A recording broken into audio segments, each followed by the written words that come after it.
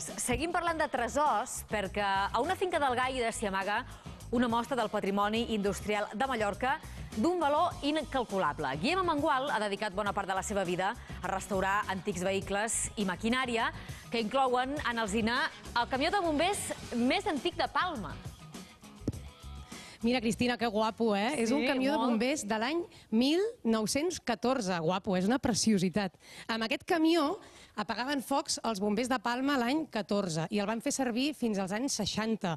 És una de les joies que té en Guillem a casa seva i que hi ha passat moltes, moltes hores. Quanta feina, no? Bones tardes. Sí, molta feina. 9 anys restaurant aquest camió. Sí. 9 anys restaurant aquest camió de bombers que quan va arribar aquí com era? No, no era així. Uh, no era res, era una autèntica ferralla, la veritat. 20 anys en cosa.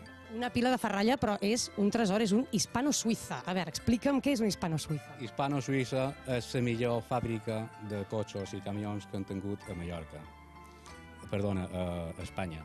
I l'any 30, Hispano-Suïssa era el millor cotxe del món. O sigui que els bombers de Palma tenien el millor cotxe als anys Era un- 20-30. Tenir un Hispano-Suïssa era un autèntic luxe, sí. I veig que ha recuperat tots els detalls, fins i tot aquests llums, que són molt especials, no? Sí, això són llums de carburo i se fa el gas dins un aparat especial i aquí s'encén amb un misto i ja tenim els llums.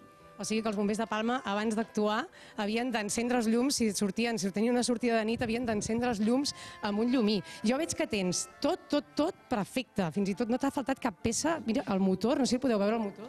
Està totalment original. Ha costat molta feina i molts esforços, però està totalment original. I fins i tot també la, la, la, la bocina, la campana de bombers, ho tenim tot. Una altra de les teves joies és aquest cotxe, que era un camió que transportava... Què transportava aquest camió? Aquest camió transportava oli i begudes i és de l'any 1924, motor de benzina, i també és el camió més antic que mos queda a Mallorca amb matrícula BM. El motor més antic que queda a Mallorca i és a Can Guillem, que és un autèntic preocupat pel patrimoni mecànic industrial d'aquesta illa. Veig que una de les curiositats d'aquest camió és que té el volant a la dreta i fins i tot també la, té la matrícula PM.